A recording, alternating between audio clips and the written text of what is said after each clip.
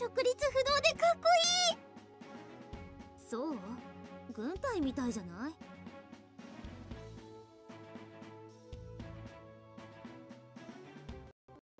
もしくは体育会系ね。そういう方針の部も多いらしいけど。私は合いそうにないわ。こういうノリ。翼そうチームはのんびりふわふわですから。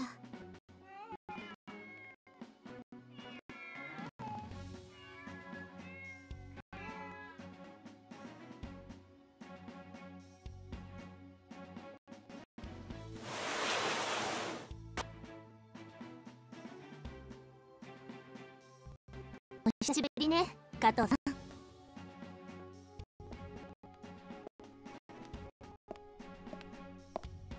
出迎えに感謝する。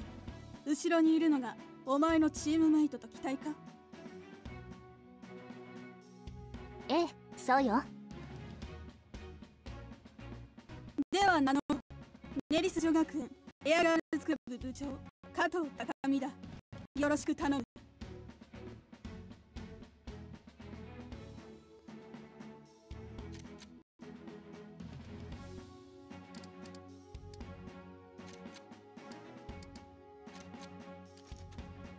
よろしくお願いします。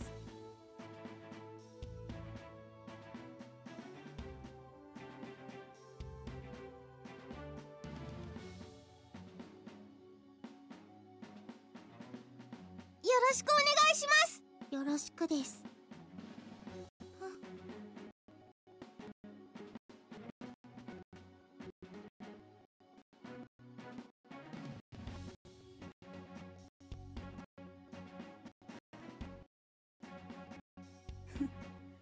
個性的。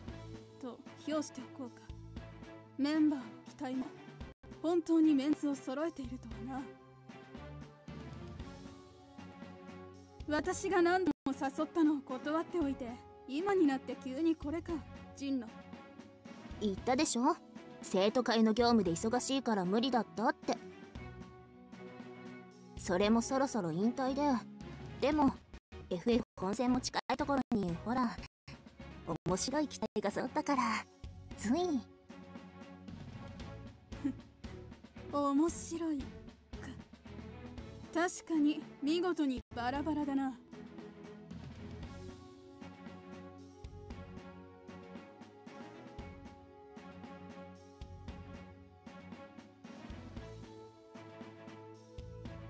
事前に聞かされた通りというわけか。ジン何を考えている？何をって？チームプレイを考えれば機体の性能を揃えるべきなどと一から言わせるなよ。それぐらい調べたのだろう。機体もパイロットも素人同然の寄せ集めで勝てるほど甘い世界ではない。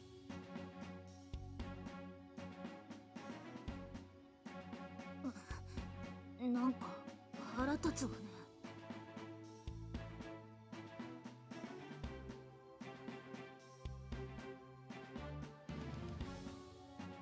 そうね。甘い世界ではないのでしょうね。素人が首を突っ込むなと言われればその通り。ただ不真面目だと受け取られるかもしれないけれどみんなで飛ぶのが楽しそうだからやってみたい。それだけよ。何それ。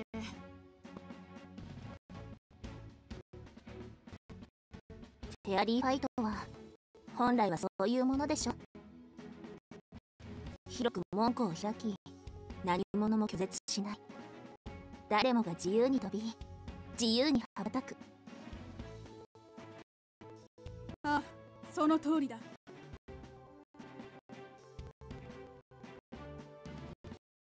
それで今日は基本的なルールと先方のおさらい。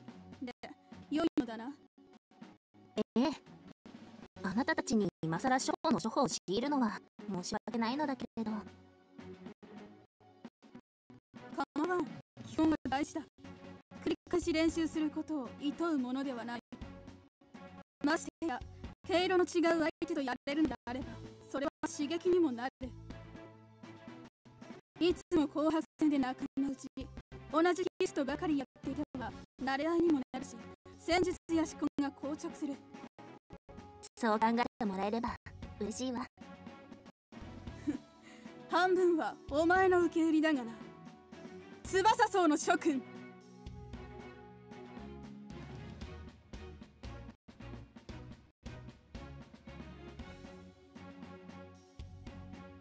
異例ではあるが本日の模擬戦中は共通回線を開いておくように。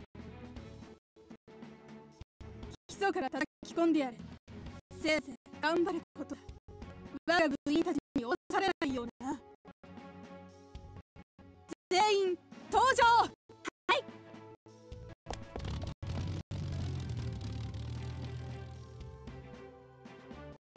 あら一息ついてから始めればいいのに。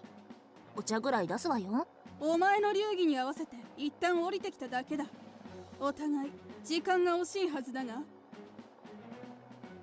本当なら空中でランデブーするなり即レンジで模擬戦に入ってもよかったのだぞ。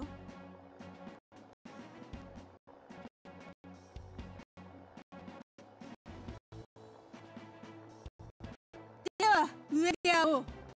こちらの気鋭を捉えられたらな。この島まで長距離飛行をこなした後でしょうに。話している間もずっとエンジンも暖気したままで。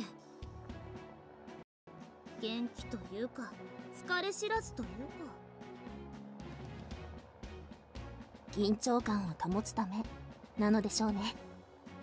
ああ見えて空の上ではちゃんと小休止も取ってきたはずよ。自動操縦に任せてですか？でも乗ったままでっていうのは。あちらはそれぐらい。遠征や練習試合に慣れているのよ。ああとはまあちょうどいい班でね。向こうが元気いっぱいだったら初心者の私たちでは初めから勝負にならないでしょうし。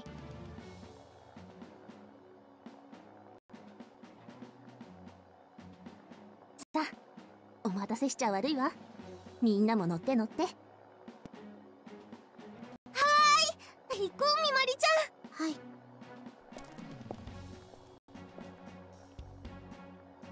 じゃあ私はこれでみんなが降りてくる頃に合わせてお昼でも用意しておきますから。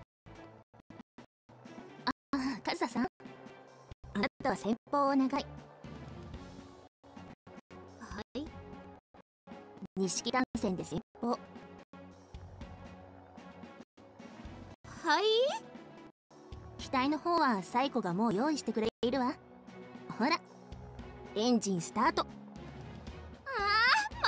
手に。だいたいいつの間にそんな話に？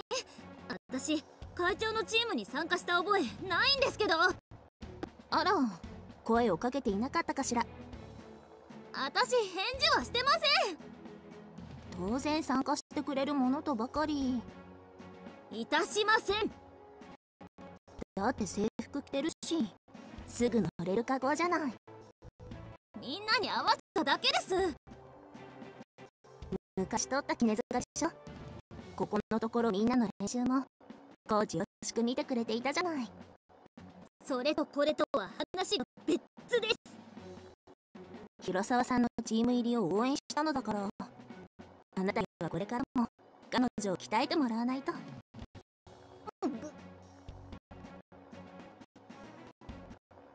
何よりこれから難敵に立ち向かおうとする同居人たちを見捨てるような真似をするの？見捨てたりできないわよね？カズサさんは？うーもう今日だけですかね。